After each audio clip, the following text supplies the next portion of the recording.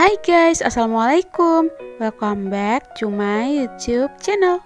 Nah guys, di video kali ini Aku akan beritahu cara membuat toner dari bunga lavender Yang manfaatnya bisa mencerahkan kulit, menghaluskan kulit, melembabkan kulit Mengatasi tanda-tanda penuaan dan mengatasi bekas jerawat. Penasaran bagaimana caranya? Tonton sampai habis ya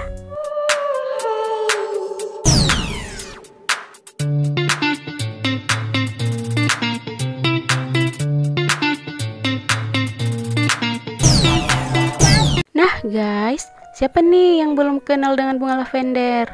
Bunga lavender adalah bunga berwarna ungu yang sangat anggun yang wangi dan menenangkan dan melambangkan kemurnian.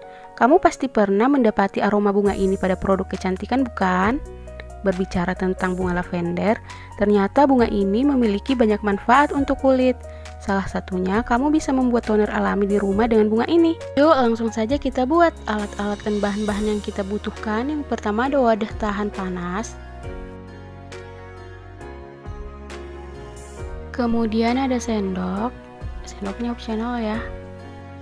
Kemudian ada pipet tetes, fungsinya untuk memindahkan cairan dari satu tempat ke tempat lain. Kemudian ada tabung kayak gini, labu Erlenmeyer. Kalau kamu gak punya, kamu boleh skip aja. Selanjutnya ada aquades. Kalau kamu nggak punya aquades, kamu juga boleh ganti dengan air AC. Selanjutnya ada saringan. Selanjutnya ada bunga lavender asli yang kering kayak gini ya. Bunga lavender kering ini aromanya sangat kuat ya, seperti aroma khas bunga lavender pada umumnya. Selanjutnya ada bahan aktif bibit pemutih niacinamide. Manfaatnya bisa mencerahkan kulit. Selanjutnya ada wadah storage khusus toner kayak gini. Selanjutnya ada gliserin cair, manfaatnya bisa melembabkan kulit, melembutkan kulit, mengatasi tanda-tanda penuaan, menghidrasi kulit, dan menghaluskan kulit. Selanjutnya ada mulberry extract, manfaatnya mencerahkan kulit, mengatasi tanda-tanda penuaan pada kulit, mengatasi flek dan bintik-bintik hitam pada kulit. Selanjutnya ada aroma parfum khusus kosmetik varian lavender dan rose. Ini juga boleh dipakai buat krim wajah dan lotion. Dan terakhir kita butuh mangkuk. Yuk langsung saja kita buat.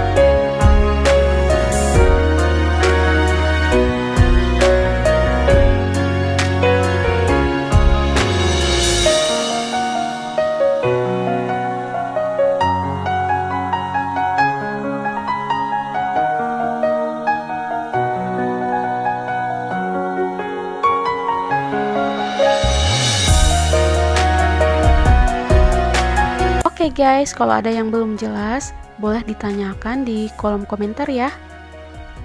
Nah, cukup mudah bukan? Selamat mencoba.